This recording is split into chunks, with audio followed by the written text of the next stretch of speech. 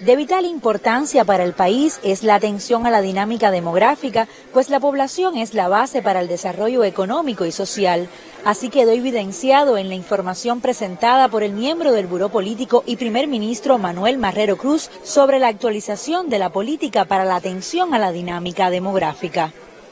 En estos momentos constituyen aspectos a ser atendidos de manera priorizada en los territorios los relacionados con la respuesta a las necesidades de los adultos mayores de manera integral,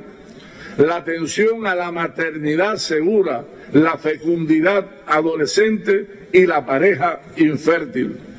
garantizar la respuesta a las necesidades relacionadas con la vivienda para madres, padres o tutores legales de niños hasta 17 años y los jóvenes.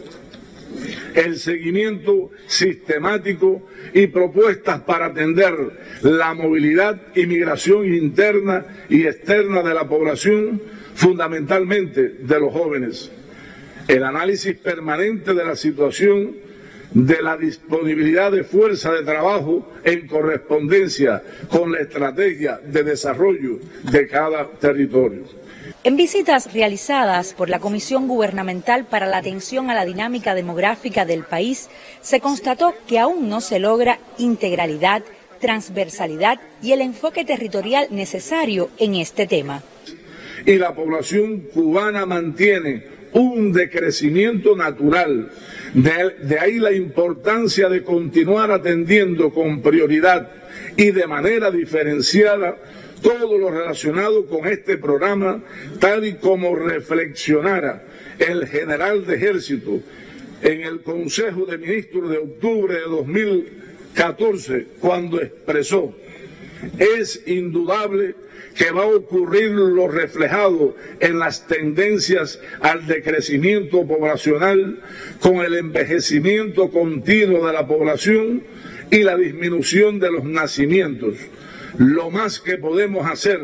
con un grupo de medidas es alargar en el tiempo el fenómeno y prepararnos para enfrentarlos. En el debate de los diputados sobresalieron temas medulares como la articulación de la comunicación y la educación en estos aspectos, la necesaria atención al cuidado de los niños y los adultos mayores, así como una visión más integral hacia los jóvenes. Tengo mucha esperanza y mucha confianza en cuanto puede ayudar que en este documento que tenemos hoy se incluya como una prioridad en esa temática tan, eh, tan problemática y tan urgente que tenemos en el país, que sigue siendo la vivienda, pongamos en la visión de que no va a ser solo para aquellas familias que ya tienen muchos hijos, sino que estamos pensando en que hay muchos jóvenes que sí quieren estar en Cuba, que sí quieren parir, y que es el problema de la vivienda los que lo, les impide hoy pensar en un proyecto de vida que incluya tener muchos hijos. Convoco eliminar todo tipo de prejuicios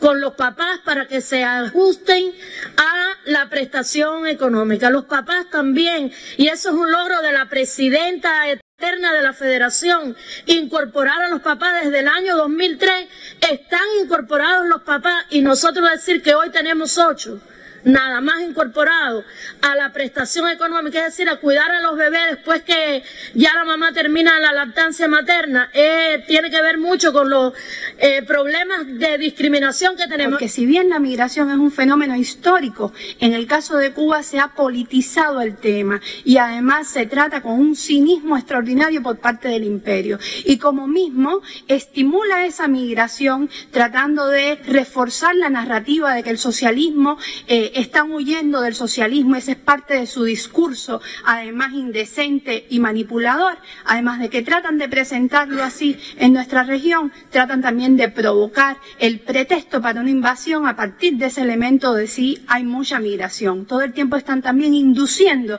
ese fenómeno eh, de injerencia interna en nuestro país. En la actualidad, Cuba presenta indicadores demográficos de países desarrollados, bajas tasas de fecundidad, crecimiento del envejecimiento poblacional y un aumento de la migración externa e interna. Todo esto en un contexto de una economía en vías de desarrollo y persistentemente bloqueada. Sin dudas, es un desafío para la gobernanza y la implementación de las políticas públicas del país. Este Lilian González, Sistema Informativo de la Televisión.